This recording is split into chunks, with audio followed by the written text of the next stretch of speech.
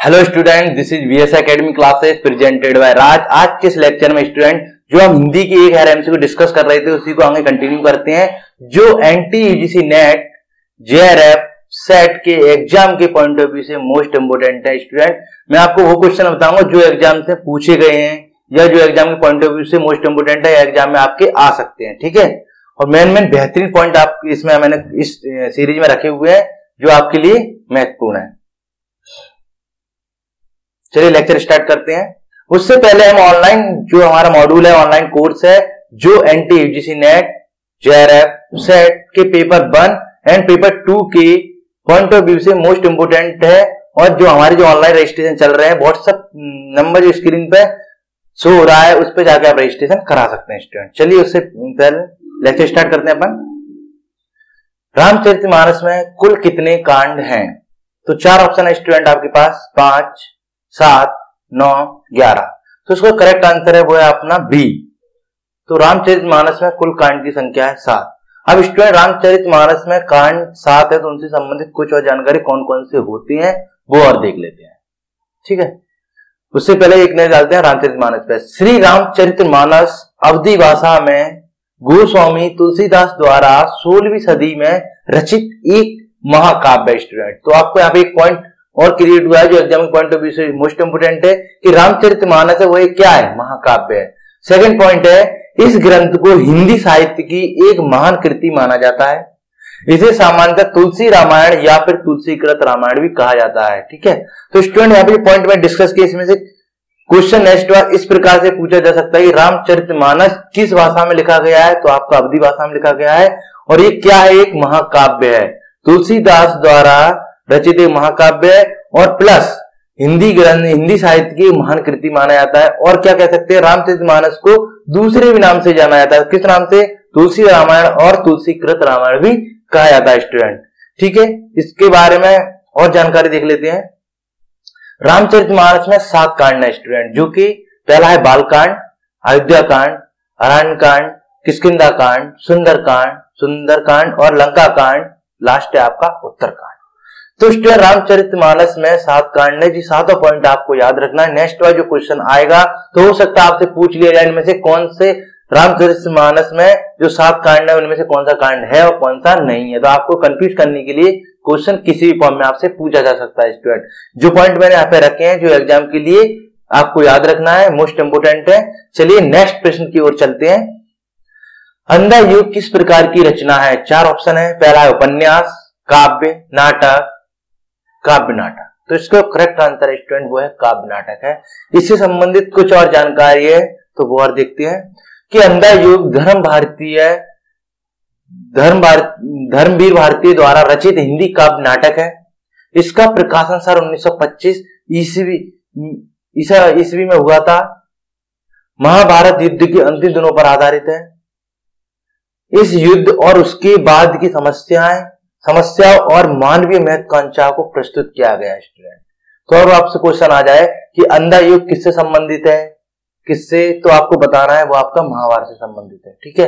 किसने इसको लिखा है? कौन कौन इसके रचयिता है? तो धर्म वीर भारती द्वारा ये हिंदी काव्य नाटक है स्टूडेंट ठीक है? नेक्स्ट प्रश्न की ओर चलते हैं. अष्टचाप का कौन सा कवि नहीं है? अष्टचाप का कौन सा कवि नहीं है? चार ऑप्शन है स्टूडेंट यहाँ पर आपके पास. पहला है मीराबाई दूसरा है नंददास, तीसरा है परमानंद दास और चौथा है कुंभन दास। तो इसका करेक्ट आंसर स्टूडेंट वो है मीराबाई तो अष्टछाप से संबंधित कुछ और जानकारी है, वो और देख लेते हैं स्टूडेंट तो अष्टछाप के बारे में अष्टछाप कवियों के अंतर्गत पुष्टि मार्गी आचार्य वल्लभ के काव्य कीर्तनकार चार प्रमुख शिष्य तथा उनके पुत्र विठल नाथ के चार, के भी चार शिष्य थे।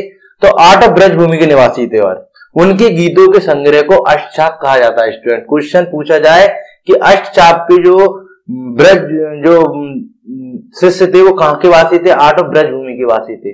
ठीक है? इसके बारे में जानकारी है।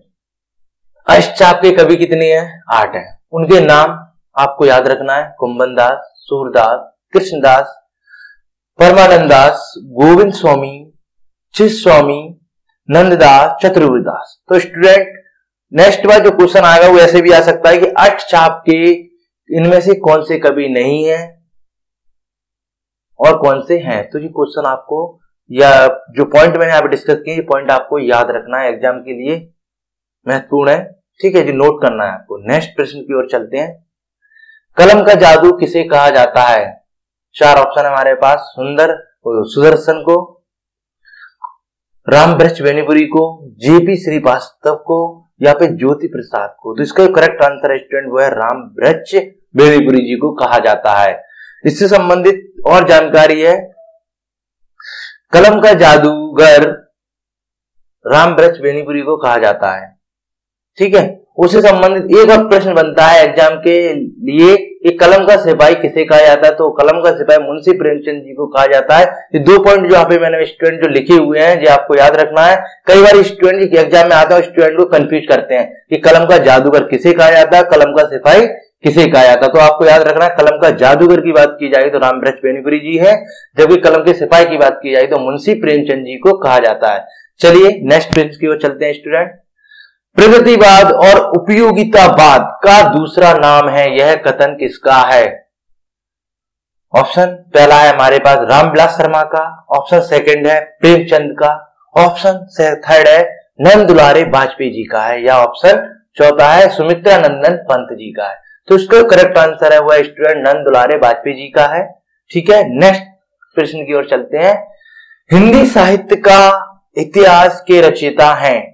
मुंशी प्रेमचंद सेकंड है, हजारी प्रसाद द्विवेदी, तीसरा है आपके पास ऑप्शन महादेवी वर्मा, चौथा है आचार्य रामचंद शुक्ल ठीक है तो इसका करेक्ट आंसर है आचार्य रामचंद शुल्क है।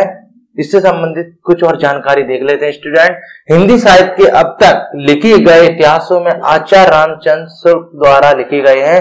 हिंदी साहित्य का इतिहास सबसे प्रमाणित तथा व्यवस्थित इतिहास माना जाता है। आचार्य शुल्क जी ने इसे हिंदी शब्द सागर की भूमिका के रूप में लिखा है स्टूडेंट तो ये पॉइंट आपको याद रखना है। नेक्स्ट प्रश्न की ओर चलते हैं। गीत गोविंद किस भाषा में है? स्टूडेंट यहाँ पे आपको बताना है, गीत गोविंद किस भाषा में हिंदी में है, संस्कृत में है, मैथिली में है, या फिर अवधि भाषा में है? तो इसका करेक्ट आंसर है संस्कृत भाषा में है। इससे संबंधित कुछ और महत्वपूर्ण जानकारी देख लेते हैं। तो गीत गोविंद जयदेव की काव्य रचना है। ये संस्कृत भाषा के महाकवि थे, जिन्होंने गीत गोविंद और रत्ती मंजीरी की रचना की थी स्टूडेंट तो यहाँ पे तीन पॉइंट आपको याद रखना है। गीत गोविंद किसकी रचना है? जयदेव जी की है। काव्य रचना है। ये संस्कृत भाषा के महाकवि थे, जिन्होंने हिंदी गीत गोविंद और रात रति मंजरी की रचना की है स्टूडेंट तो जी पॉइंट आपको याद रखना है। नेक्स्ट प्रश्न की ओर चलते हैं। एकांकी के जन्मदाता हैं। एकांकी के जन्मदाता कौन है? तो वो आपको बताना है, यहाँ पे स्टूडेंट भारतेंद्र हरिचंद जयशंकर प्रसाद, धर्मवीर भारती और डॉक्टर राम कुमार वर्मा। तो इसका करेक्ट आंसर है, वो है डॉक्टर राम कुमार वर्मा जी हैं। ठीक है स्टूडेंट इससे संबंधित और जानकारी है, हिंदी की लघु नाट्य परंपरा को एक नया मोड़ देने वाले डॉक्टर राम कुमार वर्मा जी हैं। आधुनिक हिंदी साहित्य में एकांकी सम्राट के रूप में जाने जाते हैं।